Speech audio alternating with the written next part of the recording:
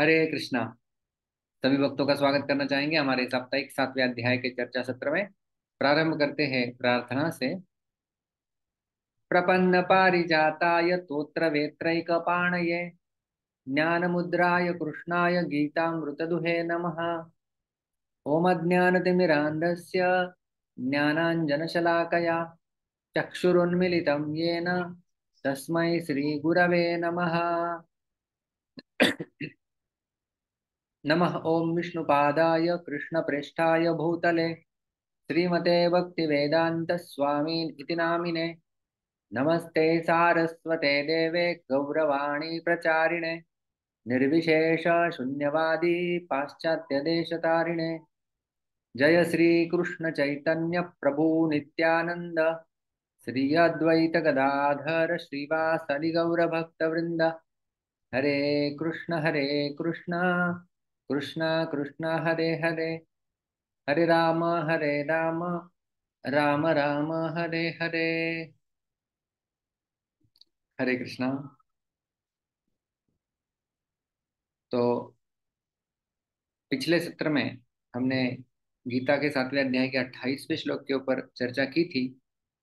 ये शाम त्वंतगतम पापम जनानाम पुण्यकर्मणाम ते द्वंद्व मोह निर्मुक्ता भजन्ते माम दृढ़व्रताः।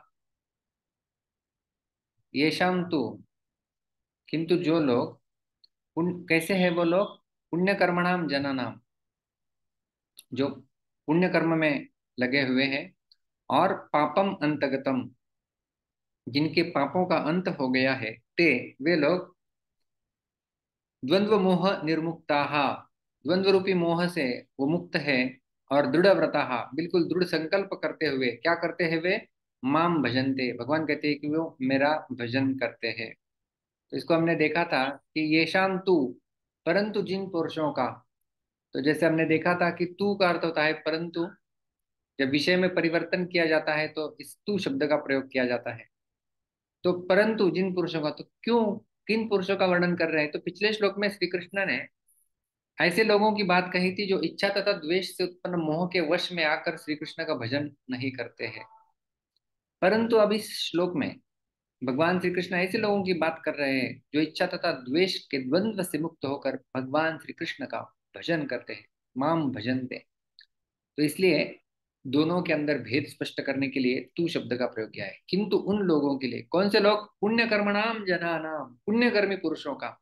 ये पुण्य कर्म क्या होता है, इसकी भी हमने परिभाषा देखी थी। जिन मनुष्यों ने अपने को तो भगवत प्राप्ति ही करनी है, इस उद्देश्य को पहचान लिया है। अर्थात जिनको उद्देश्य की यह स्मृति आ गई है कि यह मनुष्य शरीर भोग भोगने के लिए नहीं है, प्रत्युत भगवान की कृपा से केवल उनकी प्राप्ति के लिए मिला हुआ है, ऐसा जिनका दृढ़ निश्चय हो गया है, वे मनुष्य पुण्य कर्म है। तो यहाँ पर हमने पुण्य कर्म क्या था कि भगवान के प्रति समर्पण और मनुष्य शरीर मिला हुआ है, उसका सदुपयोग, ये है पुण्य कर्म और क्योंकि इसका प्रमाण हमने देखा था कि भक्ति के माध्यम से ही भक्ति मिलती है और भक्ति या भगवान के प्रति समर्पण, ये अन्य किसी के ऊपर निर्धारित नहीं रहता है। कोई पुण्य कर्म करेगा तो वो भक्ति नहीं है। पुण्य अलग है, पाप अलग है और भक्ति अलग है। तो पुण्य और भक्ति अलग है इसके लिए हमने ये श्लोक प्रमाण देखा था जो विश्वनाथ चक्रवर्ती ठाकुर अपने टीका में उद्रुप करते हैं। यम न योगे न सांख्य न दान व्रत तपोध्वर व्याख्या स्वाध्याय संन्यास ही प्राप्नुयाद यत्नवान अपनी न प्राप्नुयाद नहीं प्राप्त करते हैं। प्रयत्न करने के बाद भी यत्नवान अपनी किसके माध्यम से? योग कर लीजिए, सांख्य का अध्ययन कर लीजिए, दान दीजिए, व्रत कीजिए, तप कीजिए अध्वर ही, कितने सारे यज्ञ कर लीजिए, व्याख्या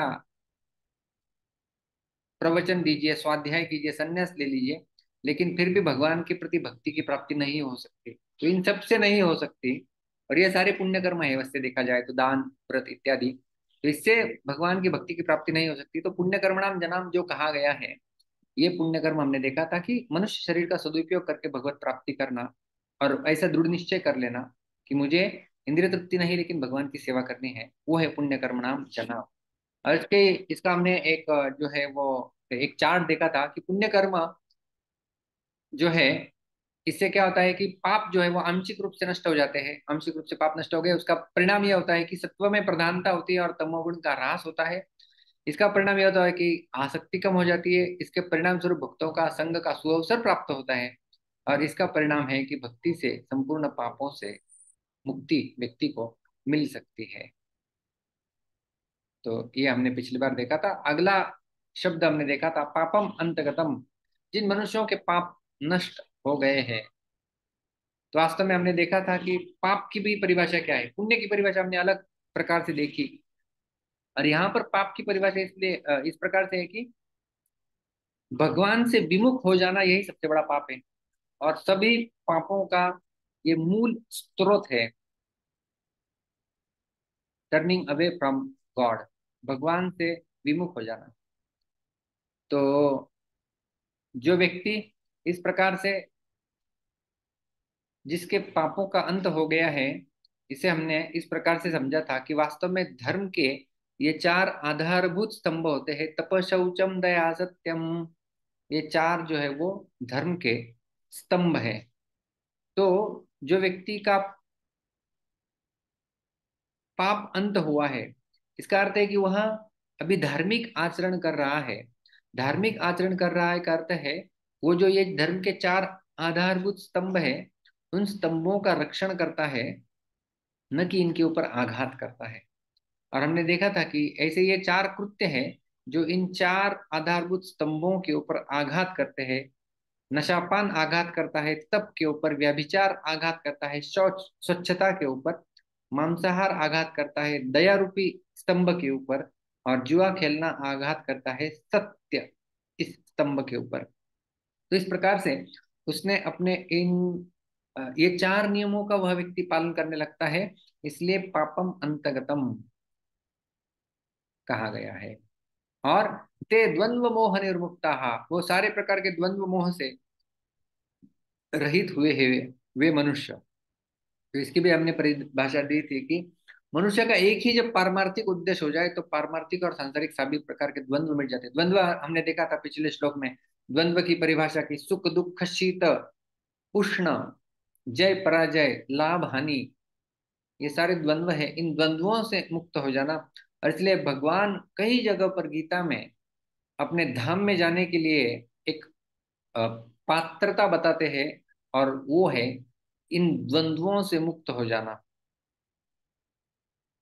इसलिए उसके बारे में भगवान दूसरे अध्याय में भी कहे हैं, निर्द्वंद्वो। ये हमने देखा था। और उसके पश्चात पंद्रहवें अध्याय में भी इसी प्रकार का वर्णन आता है। कौन भगवान के धाम में जाता है? निर्माण मोहा जित संग दोषा, अध्यात्म नित्या विनिवृत्त कामा। द्वंद्वैर्विमुक्ता सुख दुख संज्ञर्गछन्त्यमूढ़ पदम अव्ययम तत् गच्छन्ति अमूढ़ा। वहाँ पर वो चले जाते हैं। कहाँ पर? पदम अव्ययम तत्। उस परम पद को प्राप्त करते हैं। कौन लोग? जो सुख दुख संज्ञा रूपी द्वंद्व से वो विमुक्त है। और यहाँ पर भी द्वंद्व मोह निर्मुक्ता वही शब्द का प्रयोग किया गया है। और क्या करते हैं वो? भजनते माम दृढ़ व्रता दृढ़ व्रति होकर वे मेरा भजन करते हैं। तो दृढ़ता तभी आ सकती है जब हम इस प्रकार से पुण्य कर्म या ऐसा निश्चय कर ले कि मुझे भगवान की भक्ति करनी है और जो धर्म के चार आधारभूत स्तंभों के ऊपर आघात करने वाली वस्तुएँ हैं, उनका परित्याग जब कर दे, तब व्यक्ति के भजन में दृढ़ता आ सकती है। दृढ़व्रति कहने का तात्पर्य है कि हमें तो केवल भगवान की तरफ़ ही चलना है, हमारा और कोई लक्ष्य नहीं है। और कोई लक्ष्य नहीं है, उसी व्यक्ति को दृढ़व्रति कहा गया है कि ये भी चाहिए, वो भी चाहिए, स्वर्ग भी जाना है, वहाँ भी जाना है। जी नहीं।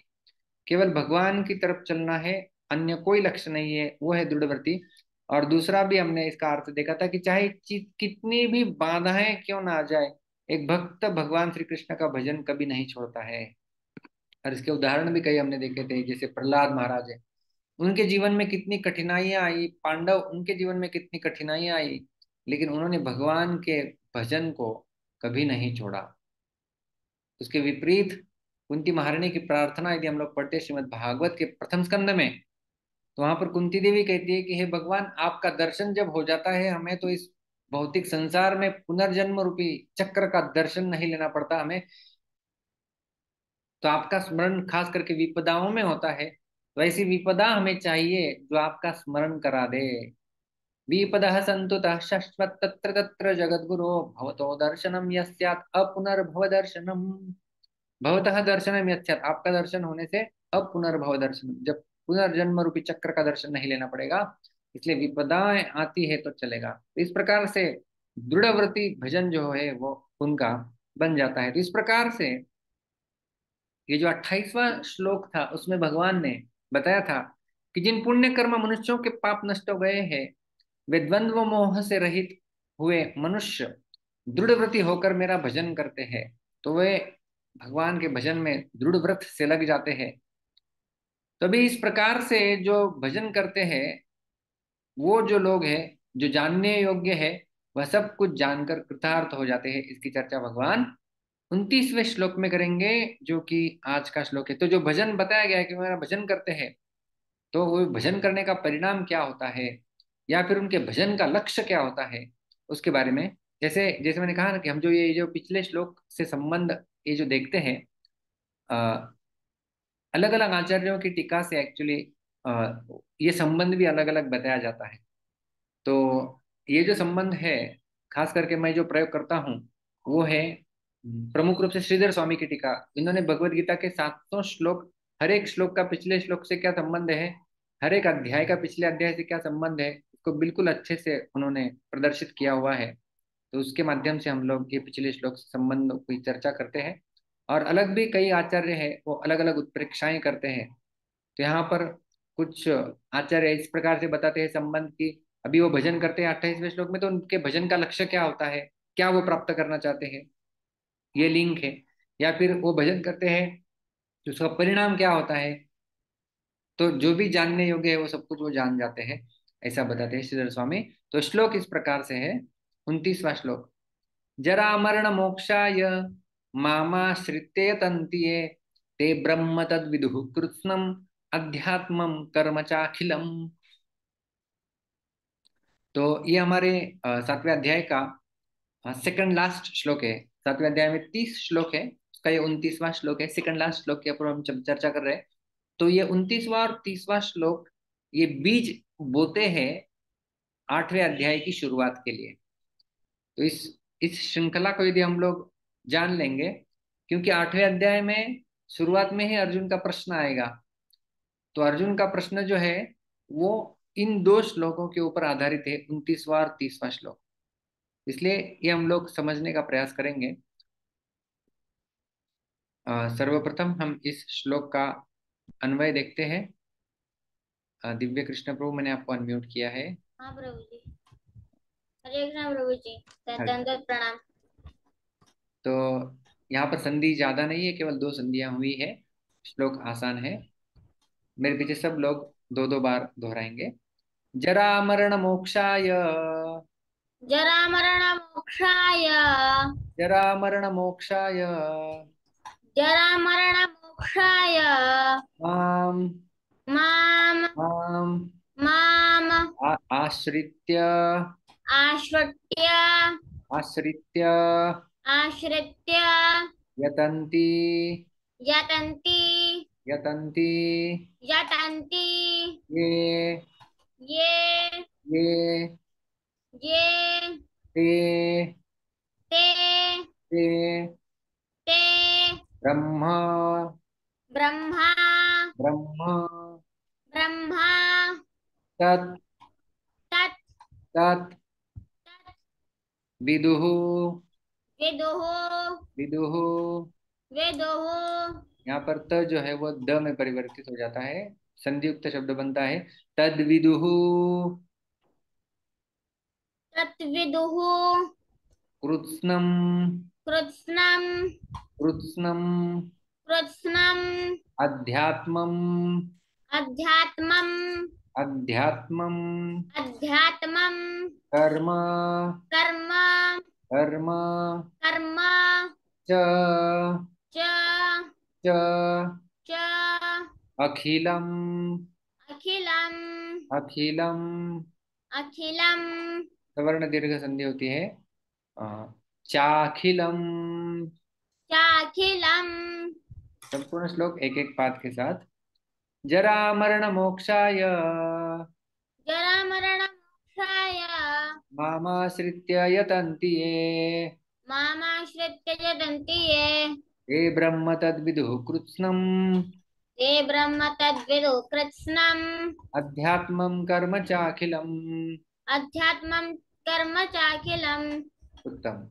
धन्यवाद। प्रभु जी हरे कृष्णा दंडवत प्रणाम तितिक्षा। माता जी मैंने आपको अनम्यूट किया है।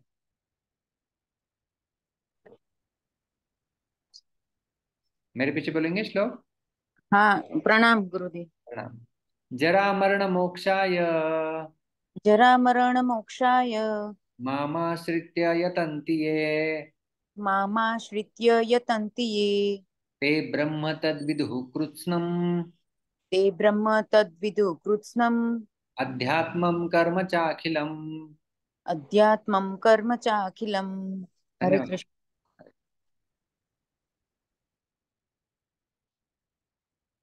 विश्वजीत प्रभु मैंने आपको अनम्यूट किया है। हरे कृष्ण प्रभु जी। जरा मरण मोक्षाय। जरा मरण मोक्षाय। मामाश्रित्य यतन्ति ये। मामाश्रित्य यतन्ति ये। ते ब्रह्म तद्विदुः कृत्स्नम्। ते ब्रह्म तद्विदुः कृत्स्नम्। अध्यात्मं कर्म चाखिलम्। अध्यात्मं कर्म चाखिलम्। धन्यवाद। हरे कृष्ण। नागवेणी माता जी मैंने आपको अनम्यूट किया है। हरे कृष्णा दंडवत प्रणाम। हरे कृष्णा माता जरा मरण मोक्षाय मामाश्रित्य यतन्ति ये। ते ब्रह्म तद्विदुः कृत्स्नम् अध्यात् अध्यात्मं कर्म चाखिलम्। उत्तम उत्तम। धन्यवाद। थैंक यू सो मच तो आइए देखते हैं इस श्लोक का अन्वय किस प्रकार से है। अ, जरा मरण मोक्षाय। जरा का अर्थ होता है संस्कृत में बुढ़ापा। मरण का अर्थ है मृत्यु। मोक्षाय। इनसे मोक्ष प्राप्ति के लिए, इनसे मुक्त होने के लिए। जरा मरण मोक्षाय। जन्म और बुढ़ापा और मृत्यु इनसे मुक्ति पाने के लिए। ये जो लोग माम आश्रित्य मेरा आश्रय लेकर यतन्ति प्रयत्न करते हैं। यतन यतन का अर्थ होता है प्रयत्न यतन्ति इसलिए संस्कृत में सन्यासियों को यति कहते हैं, यति, यतिराज। यति का अर्थ होता है प्रयत्नशील। तो माम आश्रित यतन्ति मेरा आश्रय लेकर वे प्रयत्नशील रहते हैं। किसके लिए? जरा और मरण से मोक्ष प्राप्ति के लिए। ते, वे लोग। ये, ते। जैसे, जो लोग, वे लोग। ते, क्या है, वे लोग? तद ब्रह्म। वह ब्रह्म। कृत्स्नम अध्यात्मम। यहाँ पर ये जो कृत्स्नम शब्द है, ये बहुत बार आता है गीता में। इसको ठीक से समझना चाहिए। कृष्णम नहीं है। कुछ कुछ लोग इसका उच्चारण गलत करते हैं। तो कृत्स्नम का अर्थ होता है पूर्ण रूप से कंप्लीटली संपूर्ण रूप से। अध्यात्म संपूर्ण अध्यात्म और अखिलम कर्म च। अखिलम का भी अर्थ होता है? संपूर्ण संपूर्ण कर्मों को, जैसे कृष्ण को कहते हैं, भगवान को, अखिल ब्रह्मांड नायक, सारे ब्रह्मांडों के स्वामी है, सारे। तो सारे, कर्म के बारे में जो कुछ है, वो सब कुछ जो है, वो च और विदुहु जानते हैं। तो श्री प्रभुपाद जी इसका अनुवाद इस प्रकार से किए हैं। जो जरा तथा मृत्यु से मुक्ति पाने के लिए यत्नशील रहते हैं, वे बुद्धिमान व्यक्ति मेरी भक्ति की शरण ग्रहण करते हैं। वे वास्तव में ब्रह्म हैं, क्योंकि वे दिव्य कर्मों के विषय में पूरी तरह से जानते हैं। तो आइए देखते हैं एक एक शब्द इस श्लोक का। जरा मरण मोक्षाय सर्वप्रथम। जैसे मैंने बताया, जरा और मरण से मोक्ष पाने के लिए। तो जैसे मैंने कहा कि अलग अलग आचार्य अलग अलग संबंध बताते हैं श्लोकों में तो इस प्रकार से विश्वनाथ चक्रवर्ती ठाकुर बताते हैं कि सातवें अध्याय के सोलहवें श्लोक में भगवान कृष्ण ने चार प्रकार के लोग जो शरणागत होते हैं, उनके बारे में वर्णन किया था। चतुर्विधा, कोई बताएगा वो श्लोक? किसको याद है?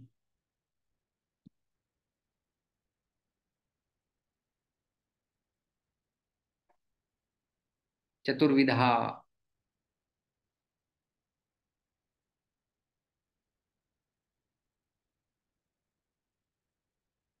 चतुर्विधा, भजन्ते माम जनाः सुकृतिनोर्जुन आर्तो जिज्ञासु अर्थार्थी, ज्ञानी च भरतर्षभ। तो इसमें भगवान ने तीन सकाम भक्तों का वर्णन किया था। आर्त, जिज्ञासु और अर्थार्थी। तो इनका वर्णन किया था? इस श्लोक में भगवान जो है, वो चौथे प्रकार के सकाम भक्त, अर्थात मोक्ष कामी का वर्णन कर रहे हैं कि जरा मरण मोक्षाय। बुढ़ापा और मृत्यु इनसे मोक्ष पाने के लिए तो मोक्ष की अभिलाषा रखना, ये भी वास्तव में, ये है सकाम भक्त है। तो तीन प्रकार के सकाम भक्त सोलहवें अध्याय, सोलहवें श्लोक में चर्चा किए गए। ये चौथे प्रकार का सकाम भक्त जो है वो विश्वनाथ चक्रवर्ती ठाकुर, इनके अनुसार यहाँ पर भगवान वर्णन कर रहे हैं। तो जरा मरण मोक्षाय तो ये बहुत बड़ी समस्याएँ वास्तव में देखा जाए तो कोई नहीं चाहता है इन्हें। जरा करता है बुढ़ापा और मरण करता है मृत्यु। तो बुढ़ापा और मृत्यु, गीता में इस प्रकार से इनका और एक जगह, दो जगहों पर वर्णन आता है वास्तव में।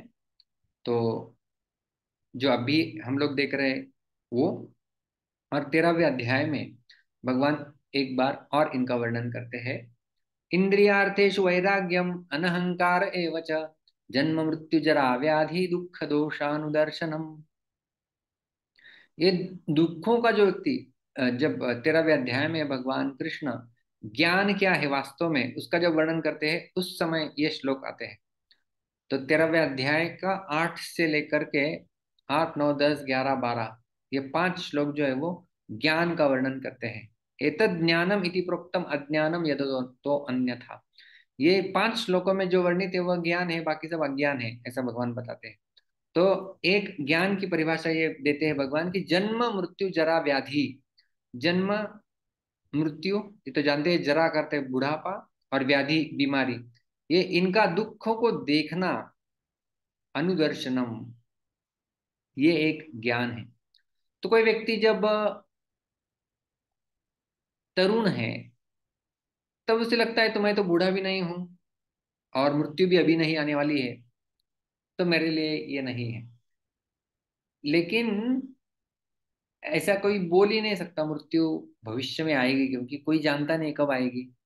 राजा परीक्षित वो सौभाग्यशाली थे, उन्हें पता चल गया था, एक सप्ताह बाद उनकी मृत्यु होगी, लेकिन मृत्यु का कोई जैसे कोई प्रोडक्ट बनता है तो उसमें एक्सपायरी डेट छपी रहती है। उस प्रकार से हमारे शरीर के ऊपर भी रहती है, लेकिन हमें दिखाई नहीं देती। कौन, कब मृत्यु होने वाला है। तो ऐसा नहीं है कि कोई भगवान का भक्त भी है तो उसे भी बूढ़ा पाया मरण नहीं आएगा, ऐसा भी नहीं है। तो वास्तव में जो शारीरिक आसक्ति है, वही जो है वो कारण है। पुनः पुनः जन्म मर, जन्म मृत्यु रूपी चक्र में आने का। और ये जो कारण है जन्म मृत्यु का चक्र वो है शारीरिक आसक्ति और अतृप्त कामनाएँ। तो वो जब तक रहेगी तब तक वह व्यक्ति मोक्ष नहीं प्राप्त कर सकता। तो वे लोग अभी जिनकी बात हो रही है वो जरा मरण मोक्षाय। तो वो समझ गए हैं सर्वप्रथम कि ये सबसे बड़ी समस्याएँ हैं। और उसके साथ साथ वो उसी के लिए चतुर्थ विभक्ति आई है। इससे इस मोक्ष को प्राप्त करने के लिए किससे? जरा और मरण सर्वप्रथम जान लेना कि यह समस्या है और दूसरी बात है कि इनसे मोक्ष पाने की अभिलाषा रखना और तीसरी बात है उसके लिए प्रयत्नशील होना। तो ये तीसरे श्रेणी के व्यक्तियों की बात यहाँ पर बताई जा रही है। जरा मरण मोक्षाय और केवल समस्याओं को जानना नहीं है, मोक्ष प्राप्ति के लिए प्रयत्न भी करना है। ये माम आश्रित्य यतंती। यतंती प्रयत्नशील है। लेकिन किस प्रकार से प्रयत्नशील है? माम आश्रित्य। भगवान कह रहे कि जो मेरा आश्रय लेकर यत्न करते हैं, इसलिए सकाम भक्त कहा गया है। भक्त आ ही जाएगा क्योंकि भगवान कह रहे हैं कि माम आश्रित्य, वो मेरा आश्रय ले रहे हैं। तो यहाँ आश्रय लेना और यत्न करना, इन दो बातों को कहने का तात्पर्य यह है कि मनुष्य अगर स्वयं यत्न करता है तो अभिमान आ जाता है कि मैंने ऐसा कर लिया, मैंने वैसा कर लिया, सब कुछ मैं कर रहा हूँ। और अगर स्वयं यत्न न करके केवल भगवान के आश्रय से सब कुछ हो जाएगा ऐसा जो मानता है, भगवान कर लेंगे तो उससे फिर आलसी प्रवृत्ति, आलस्य और प्रमाद में लग जाता है, इसलिए यहाँ पर दोनों बातें बताई गई। एक है, माम आश्रित्य भगवान के ऊपर आश्रय और दूसरा है, यतंती। वो प्रयत्नशील भी है। तो भगवान के ऊपर आश्रय लेकर के प्रयत्नशील है। तो ऐसे कुछ लोग होते हैं जो केवल प्रयत्नशील होते हैं। तो उन्हें भी कुछ मात्रा में साक्षात्कार होता है, लेकिन उसकी मात्रा सीमित होती है। और जब वो माम आश्रित लग जाता है, भगवान के ऊपर आश्रित जब हो जाते हैं तो केवल आश्रित भी नहीं कहा गया है कि, क्योंकि केवल जब आश्रित रहेगा, देंगे, भगवान करेंगे, भगवान तो साधक आलसी हो सकता है। तो वहाँ पर आलस्य और प्रमाद को भी कोई स्थान नहीं है, इसलिए दोनों का कॉम्बिनेशन माम आश्रित यतंती तो भगवान का आश्रय भी है और प्रयत्न भी है। तो इन दोनों का कॉम्बिनेशन करके वह भक्त जो है वो जरा मरण मोक्षाय, इससे मोक्ष प्राप्ति के लिए वह व्यक्ति प्रयत्नशील है। और इतना ही नहीं, वो जब इस प्रकार से भगवान के ऊपर आश्रित रहकर जब आगे बढ़ता है, तब उसका परिणाम क्या होता है? तो भगवान बताते हैं, उसके तीन परिणाम, सर्वप्रथम परिणाम, ते तत् ब्रह्म विदुहु वे उस ब्रह्म को जान जाते हैं। श्रीधर स्वामी लिखते हैं वहाँ यहाँ पर ब्रह्म का अर्थ होता है प्राप्तव्यम, जो हमें प्राप्त करना है वास्तव में। तो वो है ब्रह्म। तो ये जो ब्रह्म है, ये शब्द बहुत जो है वो, क्योंकि इसके अलग अलग अर्थ होते हैं तो ये बहुत बार संभ्रम उत्पन्न कर देता है। जैसे अभी तो हम लोग सातवां अध्याय चर्चा कर रहे हैं जिसका शीर्षक है, ज्ञान विज्ञान योगो नाम सप्तमोध्याय। तो जब आठवां अध्याय आएगा, उसका शीर्षक ही है, बड़ा विचित्र। अक्षर ब्रह्म योगो नाम अष्टमोध्याय। तो वहाँ पर अक्षर ब्रह्म की बात की जाती है। तो ये ब्रह्म जो है तो क्या ब्रह्म ज्योति है या ब्रह्म क्या है? उस ब्रह्म को जानते मतलब किससे जानते हैं? क्योंकि भगवान कहे ना कि माम आश्रित इसलिए कई सारे आचार्य कहते हैं कि भगवान को जानते हैं, तद ब्रह्म उस ब्रह्म को जानते हैं। तो ब्रह्म जो है वो दो प्रकार के ब्रह्म होते हैं, एक है अहम ब्रह्म और दूसरा होता है तत् ब्रह्म। यहाँ पर तत् लगाया गया है ना कि तत् मतलब वह ब्रह्म, एक है अहम ब्रह्म, दूसरा है तत् ब्रह्म। अहम ब्रह्मास्मि, ये तो बहुत प्रसिद्ध उक्ति है। बहुत बार आप लोगों ने भी इसे सुन रखा होगा, अहम ब्रह्मास्मि। प्रोपात जी लिखते हैं, मायावादी लोगों का ब्रीद वाक्य होता है, अहम ब्रह्मास्मि। हम ब्रह्म है, आत्मा ब्रह्म है, लेकिन उसके साथ साथ एक और ब्रह्म है, वो है परम ब्रह्म, जिसे तद ब्रह्म कहा गया है, वह ब्रह्म। तो अहम ब्रह्म के बारे में जानकारी होना, ये एक सीमित समझ है, लेकिन परिपूर्ण समझ वह है, जो तद ब्रह्म को जान ले। तो वे लोग उस तत् ब्रह्म को जान लेते, उस ब्रह्म को, उस परम ब्रह्म को, उन भगवान को जान लेते हैं। यह है पहला परिणाम। दूसरा है, ते कृत्स्नम अध्यात्मम विदुहु वे संपूर्ण अध्यात्म को जान जाते हैं। कृत्स्नम संपूर्ण, ते, वे विदुहु जान जाते हैं। किसे? अध्यात्मम। संपूर्ण अध्यात्म को जान जाते हैं। अध्यात्म हम सब तो जानते हैं। कोई लोग बोलते हैं ना, कितना आध्यात्मिक व्यक्ति है। तो कितना आध्यात्मिक व्यक्ति है का अर्थ क्या हुआ? तो अध्यात्म का अर्थ है वास्तव में जो शुद्ध आत्मा का स्वरूप, जो भौतिक शरीर से भिन्न है, उसे जानना यह है अध्यात्म। ये आत्मा कौन है? ये भगवान का अंश है। जैसे पंद्रहवें अध्याय में सातवें श्लोक में भगवान बताते हैं ना, मम वांशो जीवलोके, जीवभूत सनातन। मम एवांश, ये मेरा अंश है। तो आत्मा का स्वरूप जान लेना। ये शरीर है, ये आत्मा के ऊपर आवरण है। फिर वो स्थूल शरीर है या सूक्ष्म शरीर है, दोनों आवरणात्मक ही है, ऐसा समझ लेना। और इस शरीर से मैं भिन्न हूँ, मैं आत्मा हूँ। मेरा स्वरूप, जीवेर स्वरूप है कृष्णेर नित्य दास मैं नित्य रूप से भगवान का दास हूँ। इस संबंध ज्ञान से परिपूर्ण भलीभांति रूप से जो व्यक्ति अवगत है, वे है ते। कृष्णम अध्यात्मम विदु। वे संपूर्ण अध्यात्म को अच्छे से जानते हैं। इसका अर्थ यह हुआ कि अपने स्वयं के स्वरूप को जान गए। उसके साथ साथ दूसरे भी जो कोई जीवात्माएँ हैं वे भी भगवान के ही अंश है, ये भी जानना। ये है अध्यात्म को जानना। आगे भगवान कहते हैं, तीसरा परिणाम, ते अखिलम कर्म च विदुहु वे संपूर्ण कर्म को भी जान जाते हैं, संपूर्ण कर्म को। तो कर्म क्या है? तो कर्म एक तो केवल केवल एक शब्द नहीं है, वास्तव में इसमें कई सारी परिभाषाएँ छिपी हुई है। जैसे हम लोग कहते हैं ना, कर्म का नियम।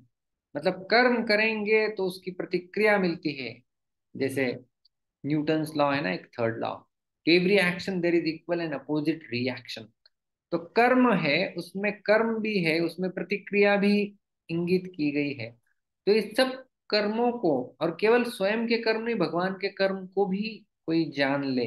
तो यहाँ पर कहा गया है कि वे संपूर्ण कर्मों के वास्तविक तत्व को जान जाते हैं। अर्थात सृष्टि की रचना क्यों होती है, कैसे होती है और भगवान कैसे सृष्टि की रचना करते हैं, इसको भी वो जान जाते हैं। यह है संपूर्ण कर्म को तत्व से जानना। श्रीधर स्वामी एक अलग ही परिभाषा इस अखिलम कर्म की देते हैं कि यह संपूर्ण कर्म को जानता है का अर्थ क्या है? वे कहते हैं, तत्साधन भूतम अखिलम रहस्यम कर्म जानंती तो वे कहते हैं कि भगवान ने पहले ब्रह्म के बारे में बता दिया है। तो ब्रह्म, वो प्राप्तव्यम कहाँ है? उसे हमने देखा था। ब्रह्म क्या है? ब्रह्म है प्राप्तव्यम, जिसे प्राप्त करना है। तो ब्रह्म हो गया प्राप्तव्यम, और प्राप्त करने के लिए जो साधन है, उन साधनों को भी जानता है, और वो साधन कर्म है। कर्म का अर्थ है कि जो जो साधन भूतम अखिलम रहस्यम कर्म जान इसका अर्थ है कि वो भगवान की भक्ति से अवगत है। ये है भक्ति कर्म। भक्ति कर्म से वह व्यक्ति अवगत रहता है, क्योंकि यह साधन है। सारे साधन को अच्छे से जानता है कि यदि भगवान मेरे लिए प्राप्तव्य है तो उनको प्राप्ति के लिए जो साधन है, जैसे नवविधा भक्ति भक्ति के अलग अलग अंग है, भक्ति के चौसठ अंग है, उन सबसे वह व्यक्ति अवगत होता है। वो है अखिलम कर्म च विदुहु वो सब कुछ जान जाता है, और जब जान जाता है तो कृतकृत्य हो जाता है, कृतार्थ हो जाता है, क्योंकि वो सब कुछ जानता है। तो इन जो जो तीन परिणाम हमने देखे तो वास्तव में ये जो तीन चीज़ें थी, वो किस किस को जानता है? तद विदुहु तद ब्रह्म कृष्णम अध्यात्मम और अखिलम कर्म च, इसे भी जानता है। तो तद ब्रह्म हो गया, यदि हम लोग इसे कह सकते हैं ट्रिपल एस तद ब्रह्म वो है, प्राप्तव्य वो है, साध्य, जिसे हमें प्राप्त करना है। कृष्णम अध्यात्मम का अर्थ है कि वो जानता है कि मैं आत्मा हूँ, शरीर नहीं हूँ वो है साधक। और अखिलम कर्म च, वो सब कुछ विधि को भी जानता है कि कैसे मुझे उस प्राप्तव्य स्थान को प्राप्त करना है, वो है साधन। तो साध्य, साधक और साधन इन तीनों को कृष्णम परिपूर्ण रूप से वे लोग जानते हैं। ऐसा जो है वो भगवान बता रहे हैं। और जब इस प्रकार से जान जाएँगे ज्ञात, ज्ञातव्य कहा जाता है कि जो सब कुछ जान गए हैं, अभी जानने के लिए कुछ शेष नहीं है। तो साध्य साधक और साधन, इन तीनों का वास्तव में ज्ञान होना, यही सबसे बड़ा ज्ञान है। तो यहाँ पर जो है वो इस श्लोक में इस प्रकार से हमने देखा कि जो पिछले श्लोक में हमने देखा था कि येषाम त्वंतगतम पापम जनानाम पुण्य कर्मणाम ते द्वंद्व मोह निर्मुक्ता भजनते माम दृढ़ व्रता वो दृढ़ता पूर्वक मेरे भजन में लग जाते हैं, जिन्होंने ऐसा निश्चय कर लिया है कि मुझे मनुष्य शरीर मिला हुआ है और उससे मैं उसकी सफलता के लिए प्रयत्न करूँगा और भगवान की और अग्रसर होने के लिए प्रयत्नशील रहूँगा। ऐसा उनका दृढ़ निश्चय हो गया है। वो भगवान का भजन करते हैं और भजन करके वे चाहते क्या है? या भजन करके उन्हें क्या प्राप्त होता है? तो भजन करने का उनका तात्पर्य है कि जरा मरण मोक्षाय, जरा बुढ़ापा और मृत्यु इससे मोक्ष पाने के लिए। तो इसमें हमने तीन श्रेणियाँ देखी थी कि वो ऐसे लोग हैं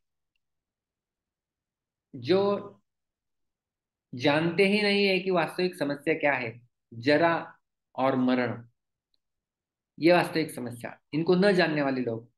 दूसरे लोग हैं, वो जान जाते हैं कि ठीक है, जरा और मरण ये समस्या है।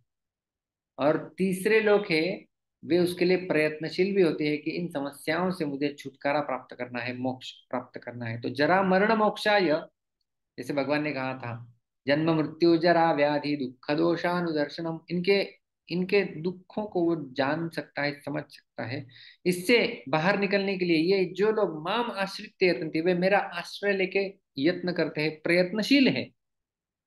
केवल प्रयत्नशील होने वाले लोगों को, जो भगवान के ऊपर आश्रित नहीं है, उन्हें साक्षात्कार हो सकता है, लेकिन वो सीमित मात्रा में रहेगा। परिपूर्ण साक्षात्कार उस व्यक्ति को प्राप्त होता है, जो प्रयत्न तो करता है, उसके साथ साथ भगवान के ऊपर आश्रित भी होता है।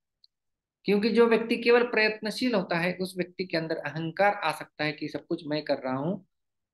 यह व्यक्ति जो प्रयत्न नहीं कर रहा है, केवल भगवान के ऊपर आश्रित है तो उस व्यक्ति के अंदर आलस्य और प्रमाद आ सकता है। इसलिए दोनों शब्दों को एकत्रित करके बताया गया है कि माम आश्रित और इसका परिणाम क्या होता है? ते, वे लोग तद ब्रह्म, उस ब्रह्म को। ब्रह्म हमने देखा, एक है अहम ब्रह्म और दूसरा है तद ब्रह्म। अहम ब्रह्म, अस्मि अहम ब्रह्मास्मि। मैं ब्रह्म हूँ वास्तव में वेदों का निष्कर्ष नहीं है, ये तो प्रारंभिक ज्ञान है अहम ब्रह्मास्मि। कि मैं ब्रह्म हूँ, लेकिन केवल उसके वहाँ तक ही सीमित नहीं रहता, एक भक्त का ज्ञान वो तो तद ब्रह्म, वो भगवान को भी ब्रह्म के रूप में जान जाते हैं और उसके साथ साथ कृत्नम अध्यात्मम, संपूर्ण अध्यात्म को जान जाते हैं। संपूर्ण अध्यात्म को जान जाते हैं का अर्थ है कि स्वयं के स्वरूप को जान जाते हैं कि मैं ये आत्मा हूँ, ये नश्वर शरीर नहीं हूँ, और इस आत्मा का भगवान के साथ क्या संबंध है, उसे भी भली भांति जान लेते हैं। इसलिए कृष्णम अध्यात्म विदुहु और अखिलम कर्म च विदुहु संपूर्ण कर्मों से भी वो अवगत होते हैं। तो संपूर्ण कर्म से यह अर्थ होता है कि वे सारे प्रकार के कर्म सृष्टि की उत्पत्ति क्यों होती है? भगवान कर्म क्यों करते हैं? और अपने भी कर्म और कर्मों की प्रतिक्रिया इन सबसे अवगत होते हैं। Law of action and reaction और श्रीधर स्वामी बताते हैं कि अखिलम कर्म का अर्थ है कि जो तद ब्रह्म है, वो प्राप्तव्यम है और उस प्राप्तव्यम को प्राप्त करने का साधन जो है, नवविधा, भक्ति इत्यादि, वो अखिलम कर्म है, वो संपूर्ण कर्म है। उसे वो। जान जाते हैं। तो हमने इसमें यह भी देखा था ट्रिपल एस कि तद ब्रह्म जो है वो साध्य है, कृष्णम अध्यात्म वो एक साधक है कि अपना स्वरूप को जो जान गया है और अखिलम कर्म उस साध्य को प्राप्त करने के लिए जो साधन किया जाता है, वो है अखिलम कर्म। तो हमने इस प्रकार से साध्य, साधक और साधन को भी देखा था। ये विदुहु और भी भगवान जो है वो क्या क्या जानते हैं? कि स अधिभूतम, अधिभूत को भी जानता है। तो वो क्या क्या जानते हैं और इसके, यहाँ आज के श्लोक में तो भगवान ने तीन बातें बताई। ते तद ब्रह्म विदुहु कृष्णम अध्यात्म विदुहु और अखिलम कर्म च विदुहु लेकिन इसके साथ साथ स अधिभूतम साधि दैवम साधि यज्ञम चय विदुहु और प्रयाण काले पिचमाम तो और चार चीज़ें हैं अलग, जिसे वे जान जाते हैं, उसकी चर्चा भगवान अगले श्लोक में करेंगे। और वो हम हमारे अगले सत्र में देखेंगे। बहुत बहुत धन्यवाद। हरे कृष्णा, ग्रंथराज, श्रीमद भगवद गीता की जय श्रील प्रभुपाद की जय। किसी का प्रश्न है तो ले सकते हैं।